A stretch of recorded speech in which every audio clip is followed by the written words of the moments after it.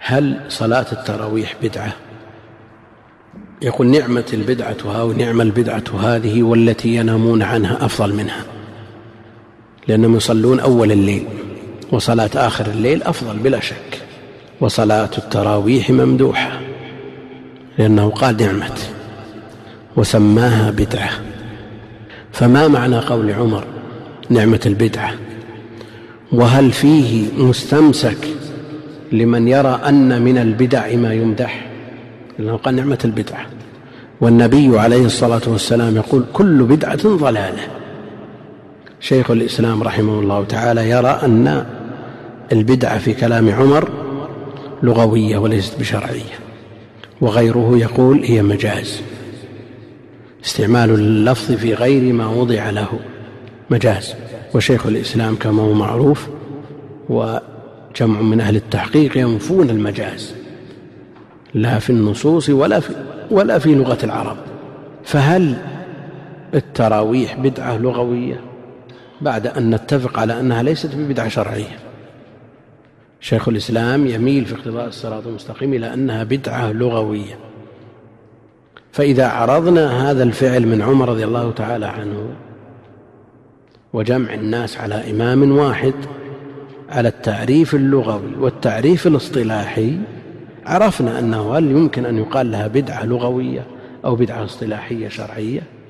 البدعة في اللغة ما عمل على غير مثال سابق. البدعة في اللغة على ما عمل على غير مثال سابق. والتراويح عملت على مثال سبق ولا ابتدعها عمر من غير أن يسبق لها ذكر ولا وجود؟ عملت على مثال سابق.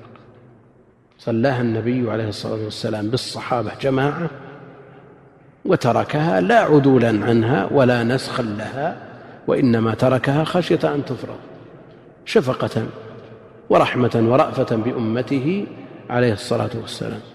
فليست ببدعة لغوية لأن التعريف اللغوي لا ينطبق عليها وليست ببدعة شرعية لأنها سبق لها شرعية والبدعة في الشرع ما عمل أو ما أحدث في الدين مما لم يسبق له شرعية من كتاب ولا سنة وهذا سبقت شرعيته من, من السنة.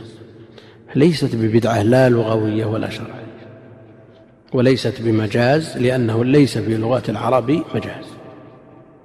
على القول المحرر المحقق عند أهل التحقيق. وممن يقول به شيخ الإسلام وغيره.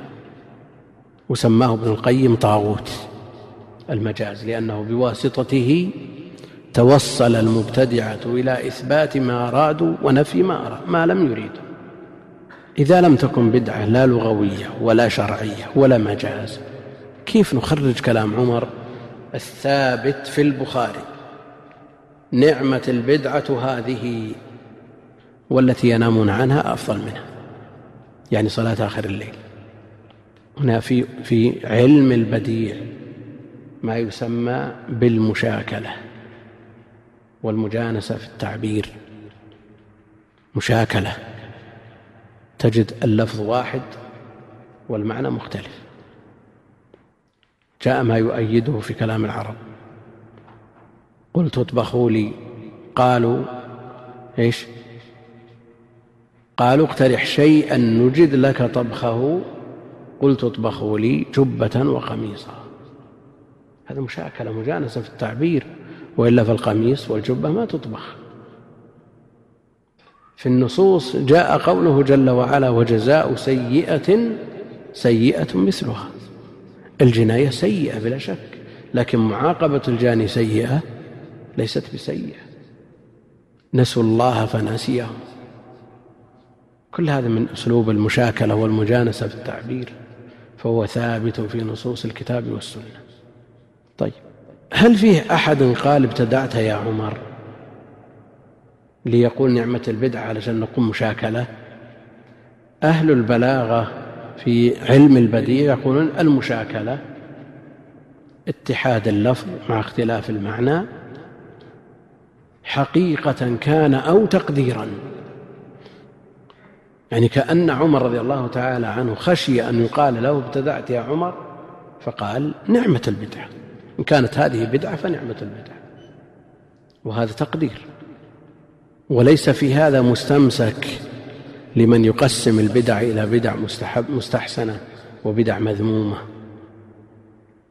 لأن النص الصحيح الصريح كل بدعة ضلالة. وإن قال بعض أهل العلم به استنادا إلى هذا الخبر. ومنهم من قسم البدع إلى الأحكام التكليفية الخمسة. بدع واجبة وبدع مستحبة وبدع مباحة وبدع مكروهة وبدع محرمة. فجعلوا من البدع الواجبة الرد على المخالفين. لكن هل الرد على المخالفين ابتداع في الدين؟ القرآن مملوء بالرد على المخالفين فليس ببدعة جعلوا من البدع المستحبة بناء الأربطة والمدارس. بدعة مستحبة. لكن القاعدة الشرعية أن ما لا يتم الواجب إلا به فهو واجب. ما لا يتم المستحب به فهو مستحب. الوسائل لها أحكام الغايات هذه وسائل للتحصيل. إذا حكمها حكم التحصيل فليست ببدع. تشملها القواعد الشرعية.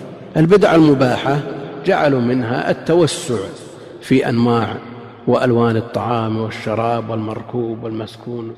هذه ليست من أمور الدين ليشملها, ليشملها الابتداع والابتداع إنما يكون في الدين وأما البدع المكروهة والمحرمة فأمثلتها كثيرة. فليس في البدع ما يمدح بل كل بدعة ضلالة.